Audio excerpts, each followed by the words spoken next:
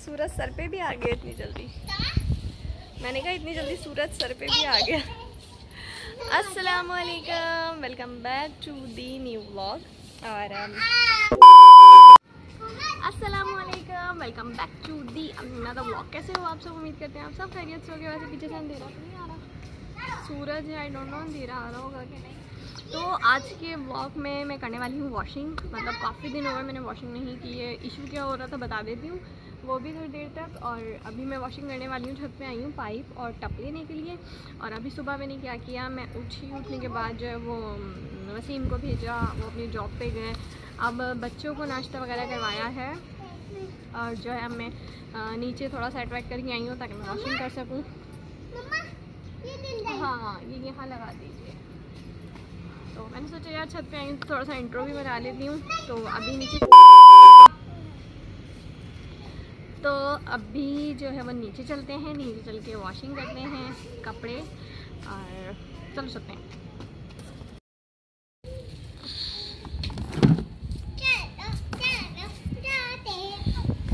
चलिए।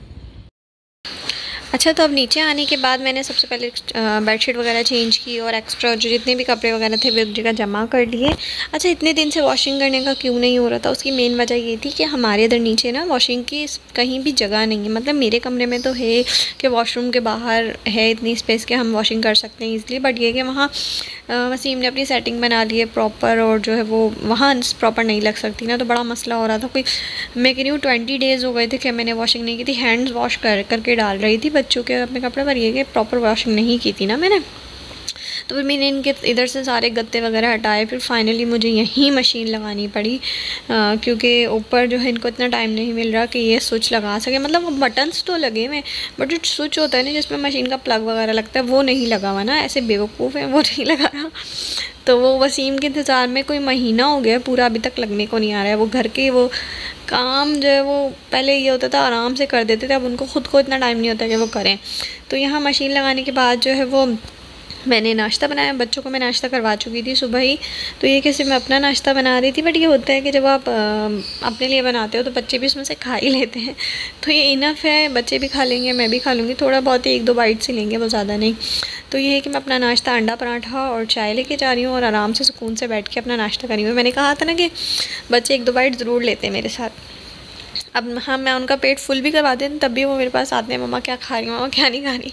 तो खैर उनको नाश्ता कर नाश्ता करने के बाद मेरे जो है वो एक दफ़ा के कपड़े वॉश हो चुके तो फिर मैं वो सारे कपड़े ऊपर लेकर आई और जो है वो, जो वाइट कपड़े थे, वो मैंने नील लगा के, क्योंकि उनको नील नहीं लगाओ ना तो फिर वो पीले पीले रहते हैं। नील लगा के ड्राई कर लिया था और जो दूसरे कपड़े थे कलर वगैरह वाले उनको जो है ना मैंने ड्राइंग ड्राई नहीं किया था मतलब वॉशिंग करके ले आई थी बस ना, वरना हमारी ड्राइंग वाली मशीन है तो इसलिए आप ड्राई कर सकते हो, लेकिन मैं ऐसी ले आई थी क्योंकि अब खुली धूप आ रही थी तो ये कि छत पे आराम से सूख जाते हैं।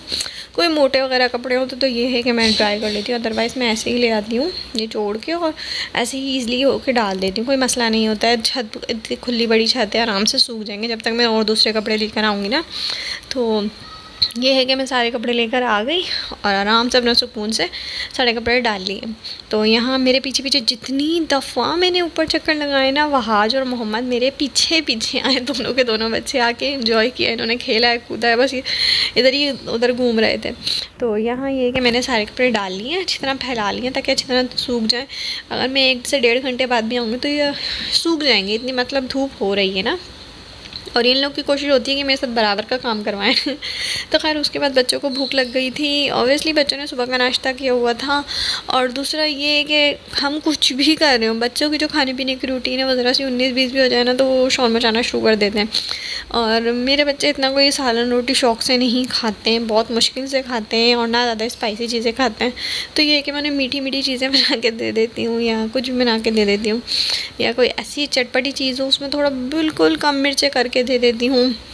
इस तरह करके वो इजी होकर खुश होकर खा लेते हैं। तो यहाँ मैं अगेन कस्टर्ड बना रही हूँ। वहाँ जगह मम्मा, मैंने कस्टर्ड ही खाना है। तो थोड़ा डिफरेंट करके बना रही हूँ आज मैं। मैंने कस्टर्ड बनाया है सेवैयाँ बॉयल की हैं और यहाँ पर एक पापा रखा था जो रस्क होता है। उसको मैंने चूरा चूरा कर लिया। फिर जब हमारा वो बैटर जो है वो ठंडा हो गया उसमें मैंने सिवैयाँ डाली और पापा का चूरा डाला और उसको लेयर बना बना मतलब कि। आप अच्छी तरह बच्चों को रेडी करके दे सकते हो। ज़रूरी नहीं कि अगर घर में फ्रूट्स अवेलेबल नहीं है तो आप इस तरह से कुछ भी ड्राई फ्रूट्स डाल लो इसमें इस तरह कलर वाली सिवैयाँ डाल लो या खाली रस्क डाल दो या केक डाल दो और उसे थोड़ी देर ना आधे एक घंटे थोड़ा ठंडा होने दो। मतलब बिल्कुल भी फ्रीज़ ना होने दो ठंडा होने दो। तो वो बच्चे शौक से खा लेते हैं और दो तीन फ्लेवर आप रख लो बनाना हो गया स्ट्रॉबेरी हो गया, जो बच्चों को पसंद हो, खुश होकर खा लेते हैं। तो यहाँ मैं ये थोड़ी देर, आधे घंटे फ्रिज में रख दूँगी। एक बड़ा बाउल बन गया था, एक छोटा बाउल बन गया था तो ये कि फ्रिज में रख दूँगी। उसके बाद जब तक मैं वॉशिंग वगैरह थोड़ी और देखूँगी, दूसरे काम देखूँगी, आधे पौन घंटे तक ठंडा हो जाएगा तो बच्चों को दे दूँगी, खा लेंगे बच्चे। शौक से ये कि पेट भी भर जाएगा उनका। तो यहाँ हुजैफ़ा और अब मैं ऊपर आए थे, जो कपड़े हमें पहले डाल के गए थे, वो सारे ड्राई हो चुके थे तो मैंने उन्हें हैंड टू हैंड हुजैफ़ा उतार के ला के दे रहे थे, मैंने फ़ोल्ड कर लिए थे। और उसके बाद जो है वो जैफ़ा को मैंने मोबाइल पकड़ाया। मैंने कहा आप थोड़ा सा आप शूट करिए। मैं कपड़े वगैरह डाल रही थी तो वो मौसम वगैरह को दिखाने लग गए ना कि हाँ मौसम कैसा और खूब बातें बना रहे थे। मैंने खैर सारा क्वाइट कर दिया क्योंकि बच्चे पीछे शोर में जाना शुरू अच्छा तो यहाँ जो है वो अब हम नीचे आ गए थे और हमारा जो है कस्टर्ड वो अच्छी तरह हो गया था ठंडा इतना कि जितना मैं बच्चों को देती हूँ ज़्यादा ठंडा नहीं कि बिल्कुल बर्फ़ हो जाए ना। तो ये है कि एक कटोरी मैंने ऊपर रख ली और यहाँ कोई इतनी बुरी ट्रेजिडी हुई हुई हुई हुई हुई। जो दूध रखा था कटोरी में, वो सारा ना नीचे गिर गया। वो कटोरी मैंने ऊपर रख दी। मैंने कहा नीचे वाले हिस्से में रखी रहेगी ना तो ये बर्फ़ ना जम जाए। ऊपर वाले में रख दूँ पहले ये खिला दूँ, फिर दूसरी कर लूँगी। अल्लाह, सारा को सारा दूध नीचे गिर गया यार। ऐसी तैसी हो गई। सारा साफ़ वाफ़ किया। पता नहीं क्या हो रहा है आजकल मेरे साथ। कभी पास्ता गिर रही है, कभी दूध गिर रहा है। लग रहा है। मेरे हाथ में सुराख हो गए कोई मसला हो गया जो चीज़ें मेरे हाथ से बहुत ज़्यादा गिर रही हैं आजकल। तो खैर, बस बच्चों को ये दे दिया था मैंने। दोनों को अलग अलग बैठ के अब तीनों खा रहे हैं और जो है सुकून से। और मैंने पूछा, कैसा लग रहा है? तो भाई ने कहा अच्छा। और वो जाफ़र ने कहा अच्छा। तो आज कह रहे नहीं, थम्स नीचे करके कह रहे नहीं नहीं अच्छा नहीं है मम्मा, ये बिल्कुल भी। तो खैर यही चलता रहता है बच्चों का। बस बच्चे अब यहाँ खा रहे थे और मैंने अगेन अपनी वॉशिंग स्टार्ट कर दी और बच्चों को चेंज करवाया, ख़ुद ने चेंज किया क्योंकि मेरे ऊपर भी सारा ना दूध गिर गया था। आज तो फिर ये है कि मुझे भी चेंज करना पड़ा, बच्चों को भी चेंज करवाया मैंने। चेंज करवाने के बाद अच्छा ये चौदह अगस्त की शर्ट है, उस दिन के बाद ना आप रखेंगी। तो मैंने कहा, यार, दोबारा पहना देती हूँ अच्छा है, बच्चे ज़रा खुश हो जाएँगे। तो ना दोबारा से वो नगमे गाने लग गए, दिल दिल, पाकिस्तान, जान जान, पाकिस्तान। कह रहे, मम्मा, हमारा शूट करें ना। तो फिर मैंने थोड़ा सा शूट कर लिया। उसके बाद जो हमारा, मैंने पिज़्ज़ा वगैरह बनाया था, उस दिन का सामान पड़ा हुआ था ना। तो ये कि मेरी नंद ने फ्राइज़ बना ली थी, उसके साथ ये पिज़्ज़ा फ्राइज़ कह लो आप इसको ना। तो ये बना रही थी, फिर मैं ये खा रही थी, क्योंकि बच्चों ने कस्टर्ड खा लिया था तो फिर ये कि उन्होंने ये बनाया तो मैंने ये खा ली थी। थोड़ी बहुत पेट भर गया था मेरा तो। तो खैर, क्योंकि जब मैं काम कर रही हूँ तो मैं काम में इतनी मशगूल होती हूँ, मुझे खाने पीने के अंदर कोई जल्दी से होश होता नहीं है, बच्चों की वजह से मुझे पकाना पड़ जाता है। तो ये कि फिर हम अब छत पे आ गए थे, दोबारा जो कपड़े डाल के गई थी वो भी सूख गए थे, वो भी फोल्ड कर लिए थे, और कपड़े डाल के गई। फिर ये कि लाइट चली गई थी तो हम लोग ऊपर आ गए थे, मैंने उधर से कहा मैंने कहा ऐसा करते हैं, छत की ना थोड़ी क्लीनिंग करते हैं। वैसे तो साफ़ सुथरी ही है बट ना ये है कि थोड़ा मैस हुआ हुआ था, ये सामान उधर पड़ा हुआ था, वो सामान उधर पड़ा हुआ था। तो मैंने कहा, चलो यार ज़्यादा सफ़ाई करते हैं। हुजैफ़ा भाई दोनों ने मिलकर मेरे साथ सफ़ाई की। पूरी छत की, हमने पूरी छत को अच्छी तरह पानी से वॉश किया। ऊपर भी वॉशरूम है ना तो उधर पानी आता है, लेकिन हल्का हल्का आ रहा था, पता नहीं क्यों। तो ये है कि अच्छी तरह उधर की वॉशिंग की। सारे वाइपर से कचरा वगैरह उठाया और पानी डाल डाल के सही अच्छी तरह से धो दी ना उसे। और जो जितना भी एक्स्ट्रा सामान वगैरह रखा था वो एक तरफ़ करके रख दिया था कि एकदम सामने आना सामने ही पड़ा होता है तो। ये कि सारा हटा के एक तरफ़ करके रख दिया था। और यहाँ मैं और उधर ये जो कचरा हमारा पड़ा हुआ था एक्स्ट्रा खाने पीने का जो होता है, वो जो खाते हैं, वो छोड़ देते हैं, वो तो फिर वो सामान समेट रहे थे सारा। उसके बाद सामने अंगीठी पड़ी हुई थी। अंगीठी ये वो बारबेक्यू वाली है तो हमने सोचा इसको भी एक तरफ़ करके रख देते ताकि सामने से क्लीन हो जाए। और जो डोर वगैरह हमारे पास पड़े हुए हैं ना छत पे, वो हमारा डक बना हुआ है, वो हमें उसको ढकना होता है, वो सामने रखा है ना तो वो इसलिए वो हम नहीं हटा सकते। जब तेज़ बारिश हो तो हम उसे ढकते हैं। तो जो कपड़े हमारे हो गए थे, वो हम अब नीचे लेके जा रहे हैं। और अब नीचे जाएँगे। और जो है वो ये मैं दिखा रही हूँ, अब यहाँ पे छत की सफ़ाई हो गई है सारी तो बस यही कुछ पूरा दिन ही गुजर गया ना, पता नहीं लगा है। और हमारे कपड़े वगैरह डले हुए हैं, अभी ड्राई होते रहेंगे और लाइट आएगी, फिर दूसरे कपड़े धुलेंगे। पूरा दिन ही गुजर गया अभी रात हो गई थी बच्चों को, फिर भूख लगने लगी तो मैंने कहा चलो नूडल्स बना देती हूँ। नूडल्स बना देती तो मैंने लोगों को नूडल्स वगैरह बना के दे, थोड़ा बहुत मैंने खाए बच्चों को खिलाए नूडल्स ये कि बच्चे ऐसी चीज़ें शौक़ से खुश होकर खा लेते हैं। तो अभी ये नूडल्स खा रहे हैं दोनों के दोनों और जो है वो दो छोटे बच्चे हैं, वो भी आ गए थे, फिर उनको भी नूडल्स दिए। बच्चे ये के शौक से खा लेते हैं, ऐसी लाइट चीज़ ना ग्रीन वाले जो होते हैं ना, जिसमें ज़्यादा स्पाइस नहीं होता, वो देती हूँ मैं, वो शौक से खा लेते हैं। उसके बाद आइसक्रीम वाला आया, हम लोगों ने आइसक्रीम खाई मतलब खाया है खाया है, खूब खाया है।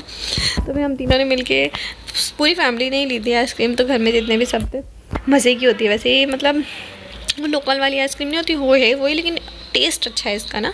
तो फिर उसके बाद जो है मैंने मशीन थोड़ी देर बंद कर दी थी। फिर मैंने कहा, चलो पहले रोटी सालन वगैरह का कर लें, फिर करते हैं। तो फिर ये कि आटा हमारा ख़त्म हो गया था तो मैंने सोचा, यार, आटे की बढ़नी वगैरह भी धो लेती हूँ। तो अच्छा तो ये है कि मैं वो धो लेती हूँ अच्छी तरह, फिर ये कि मैंने रोटी डाली हुजैफ़ा ने मेरे साथ हेल्प करवाई हुजैफ़ा माशाल्लाह से हर जगह मेरी हेल्प करवाते हैं ऐसा बच्चा है, कहता है कि मम्मा आपको ना करना पड़े, मैं कर लूँ सारे काम। मैंने कहा, बेटा बड़े हो जाओ, फिर देखती हूँ आप कितना करोगे।